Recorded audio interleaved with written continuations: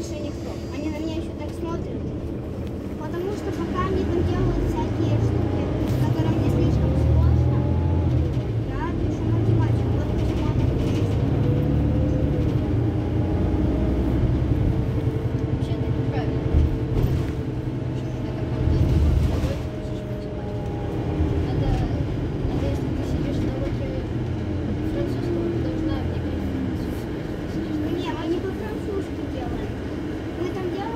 漂亮了。